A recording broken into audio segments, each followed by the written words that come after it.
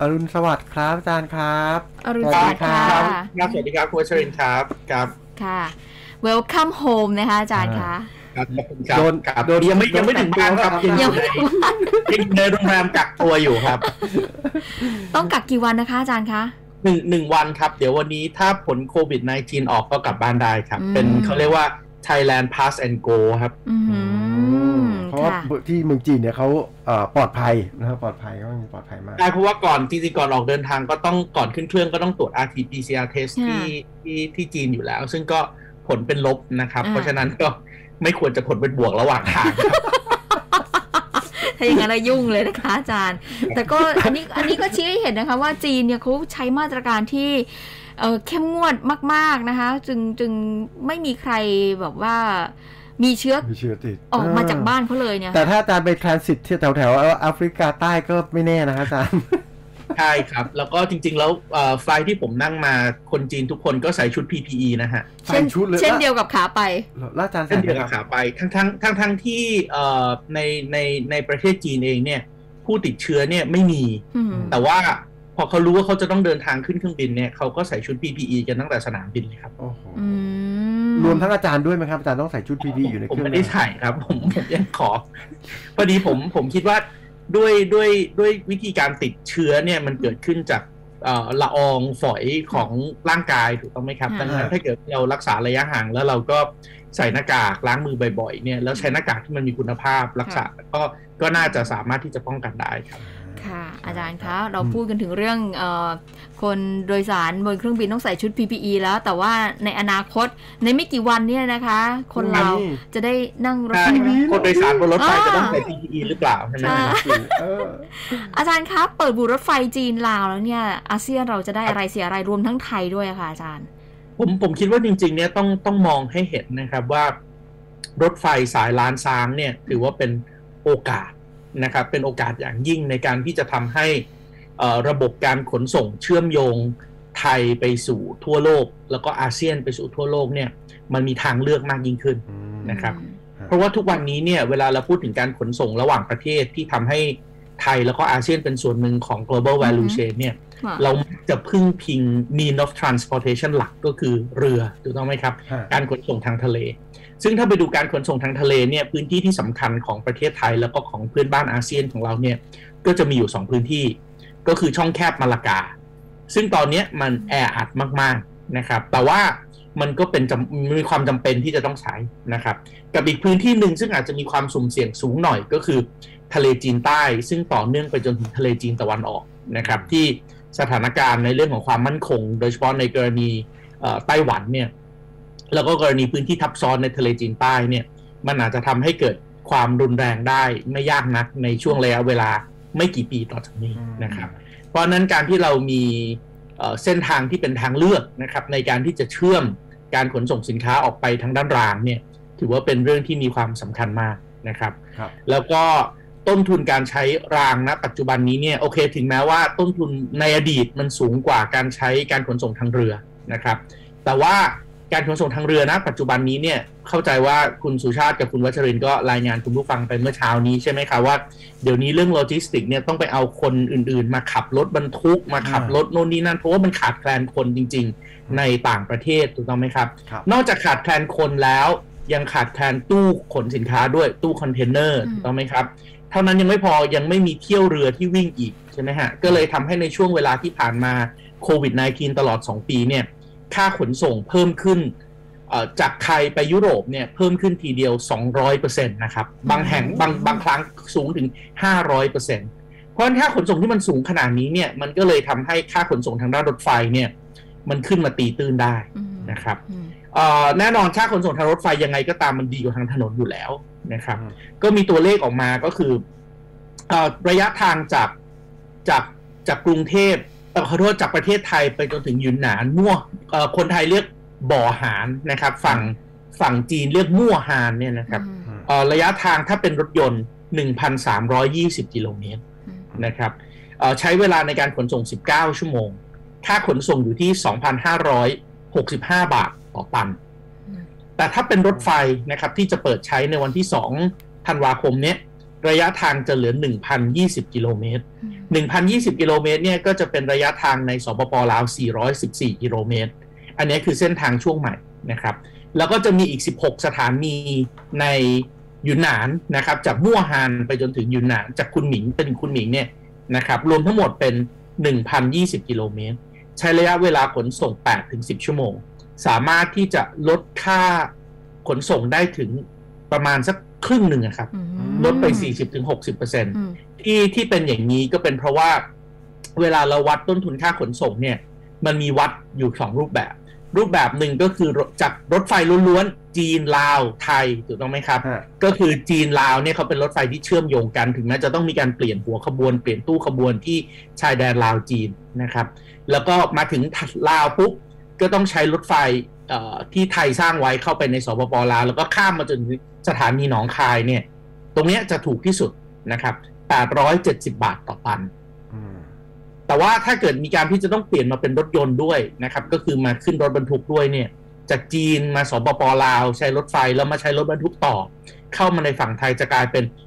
1,652บาทต่อตันอืมอืมซึ่งไม่ว่าจะยังไงก็ตามมันก็ยังถูกกว่ารถยนต์ล้วนๆอยู่ดีถูกต้องไหมครับค่ะฮะตรงนี้แต่ว่าตรงเนี้ยมันก็ทำให้เราเห็นปัญหาด้วยว่าเออเราเห็นโอกาสแล้วแหละแต่ว่าโลจิสติกมันถูกลง มันเป็นการขนส่งที่ในอนาคตถ้าเชื่อมโยงกันได้จริง ๆ เนี่ย มันจะลดภาระแล้วก็ลดความเสี่ยงที่จะพึ่งพาแต่เฉพาะการขนส่งทางทะเลได้ แล้วถามว่ามันเชื่อมโยงได้ทุกจุดจริงไหมอืมคำตอบก็คือเมื่อไหร่ก็ตามที่มันไปถึง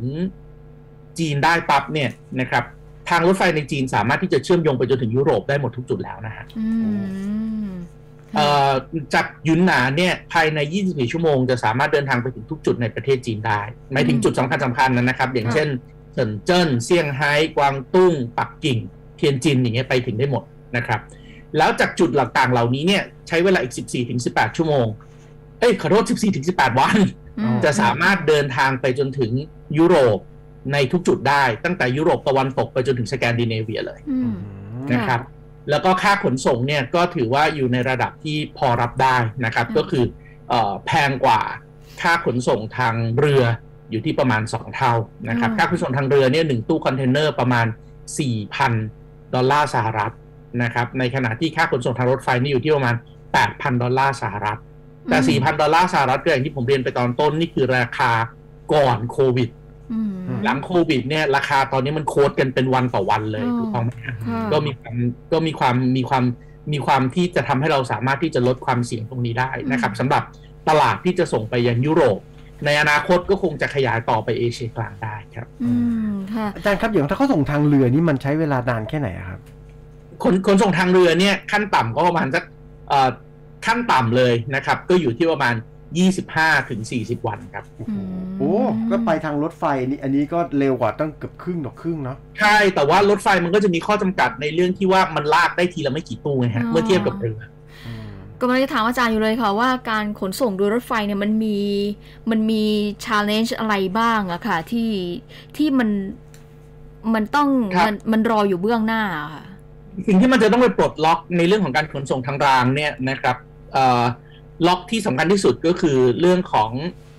เวลามัน cross border เวลามันผ่านข้ามชายแดนนะครับ เวลามันผ่านข้ามชายแดนเนี่ย ตรงนี้จะเป็นสิ่งที่ทำให้เอ่อต้องต้องต้องมีข้อตกลงอืมนะครับ ในการที่จะทำให้สินค้าสามารถข้ามแดนผ่านแดนได้โดย โดยที่มันถูกที่สุด เราไม่ฮะไม่ให้มันเสียเวลานะครับ อันต่อมาก็คือ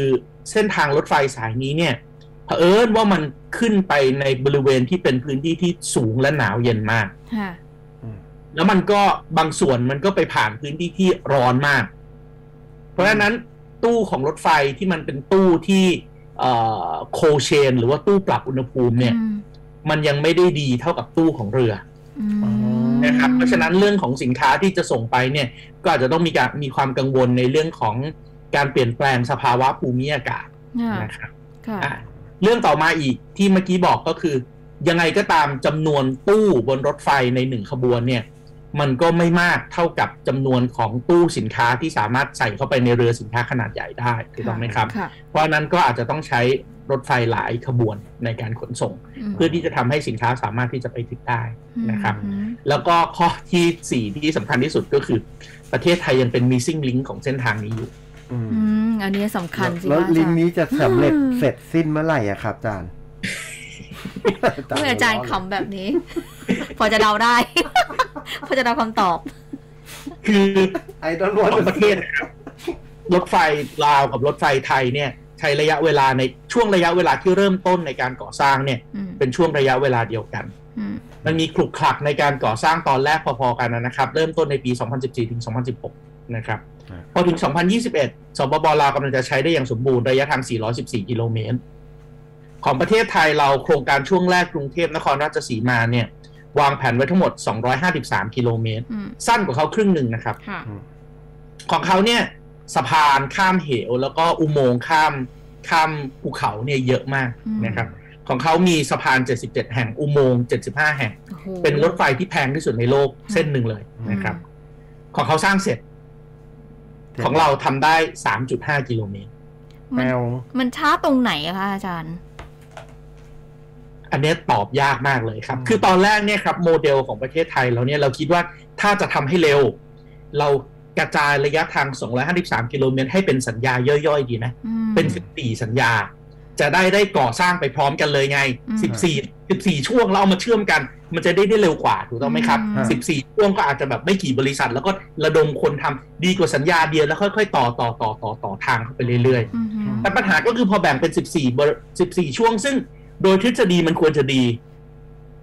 แต่ในการบริหารจัดการปรากฏมันมันเยอะเกินไปอืมจนในที่สุดพอมันเยอะเกินไปปุ๊บเวลาคนไปโฟกัส ช่วงหนึ่งมันก็อาจจะ lost focus ในบางช่วงถูกต้องไหมครับอืมในที่สุดก็เลยทำให้สถานะณปัจจุบันเนี่ยก่อสร้างแล้วเสร็จหนึ่งช่วงอืมอยู่ระหว่างการก่อสร้างเจ็ดช่วงนะครับอืมลงนามเตรียมก่อสร้างสามสัญญา แล้วก็อืมอยู่ในระหว่างประกวดราคาสามสัญญาอืมแต่อย่าลืมว่ารถไฟเนี่ย มันกระจาย 14 ช่วง แต่ไม่ใช่ว่าเสร็จ 13 ช่วงแล้วมันใช้ได้ถูกต้องไหมฮะฮะอืมมันก็ต้องเสร็จ 14 ช่วง มันต้องเสร็จทั้งใช่14 ช่วงมันถึงใช้ได้ เพราะว่าในแต่ละสัญญาเนี่ยมันก็ต้องพูดถึงเรื่องของสิ่งอำนวยความสะดวกต่าง ๆ ด้วยไม่ใช่แต่เฉพาะรางอย่างเดียวค่ะอืมตรงนี้ก็อาจจะเป็นการผิดพลาดที่เอ่อการบริหารจัดการแผนที่วางเอาไว้เป็นหลักอืมนะครับ แล้วก็ที่เมื่อกี้ผมบอกก็คือ ถ้ามันเสร็จก็จริง ซึ่งเข้าใจว่าน่าจะเสร็จในปี 2026 นะครับ ก็คือรออีก4ปีอีกห้า4ปีปีครับโอ้โหพอดีเอ่อมันมิปัญหาซิ่งก็ลิคืองนานมากนะครับอาจารย์มันก็จะไปถึงแค่หนอง มันก็จะไปถึงแค่นครราชสีมานะครับ ก็คือโคราชค่ะอืมมันยังไม่ไปมันยังไปไม่ถึงหนอยังไปไม่ถึงชายชายแดนเลยคายเอาไหมครับอ๋อฮะแล้วก็รถไฟเนี่ยถ้าจะมีประโยชน์จริง ๆ มันจะต้องเชื่อมไม่ใช่แค่ไปถึงโคราช มันจะต้องเชื่อมถึงหนองคายเพื่อไปเชื่อมกับสปปลาวแล้วไปเชื่อมกับอืมและอย่าลืมมันต้องมีอีกซีกหนึ่งด้วยนะ จากไทยจากกรุงเทพต้องลงไปจนถึงสุไหงโกลก แล้วไปเชื่อมกับระบบของมาเลเซียอืมไปจนถึงสิงคโปร์ให้ได้ด้วยฮะมันถึงจะสามารถใช้ประโยชน์ได้อย่างเต็มที่แล้วสองเส้นทางที่อาจารย์พูดถึงนะครับโคราชไปหนองคาย และกรุงเทพไปถึงมาเลเซียเนี่ยของเราได้เริ่มยังครับอาจารย์เอ่อกรุงเทพเอ่อขของหนองคายนครราชสีมาเนี่ยนะครับมีการออกแบบไปแล้ว ตอนนี้อยู่ในช่วงของการทำ EIA อืมนะครับอืมเอ่อก็น่าจะน่าจะนะครับถ้าเกิดว่าทุกอย่างเป็นไปตามแผนนะครับ ก็น่าจะเสร็จได้ปี 2028อืมอืมก็คือในอีก 6 ปีข้างหยังน้าทันได้แต่ว่าเห็นอันนี้คือถ้ามันเป็นไปตามแผน หวังว่าจะทันได้เห็นในช่วงอายุนี้ผมว่าส่วนส่วนส่วนรถไฟที่จะลงใต้เนี่ย อันเนี้ยค่อนข้างที่จะไปได้ไกลนะครับค่ะเพราะว่ารถไฟที่ลงใต้เนี่ย ระบบรถไฟทางคู่ค่อนข้างที่จะทำได้ทำได้เยอะละทำได้นะครับเยอะถ้าเกิดว่าท่านไหนเดินทางไปหัวหินไปประจวบเนี่ยท่านจะเห็นว่าทางรถไฟทางคู่เนี่ยมันมันมันเห็นเป็นรูปเป็นร่างจับต้องได้นะครับไม่แต่ว่าฮะ ทั้งนี้นั้นต้องอย่าลืมว่ารถไฟในประเทศไทยเนี่ยมันจะมีระบบที่เป็น standard gauge อืมทางคู่ครับกับเอ้ยขอโทษเป็นเป็น meter gauge รางซ้ายกับรางขวาห่างกันค่ะ1เมตรค่ะกับ standard gauge ห่างกัน 1.435 เมตรนะครับค่ะเพราะฉะนั้นสิ่งที่สำคัญก็คือมันจะต้องมีเขาเรียกว่า change of gate station ค่ะอาจารย์ครับเอาเวลาหมดแล้วครับ ผมอยากให้อาจารย์มามาต่อนะครับว่าครับสาเหตุอะไรเรื่องการก่อสร้างในประเทศไทยมันถึงล่าช้าทุกอย่างเลยนะไม่ว่าถนนหรือรถไฟนะครับค่ะ วันนี้ขอว่าลาไปทุกก่ท่าอนนรู้กันค่ะอยู่ในใจว่ามันเกิดค่ะขอบพระคุณมากนะคะอาจารย์คะสำหรับวันนี้ลาไปพร้อมกันเลยนะคะ ทั้ง 3 คนค่ะ สวัสดีค่ะสวัสดีครับครับสวัสดีครับ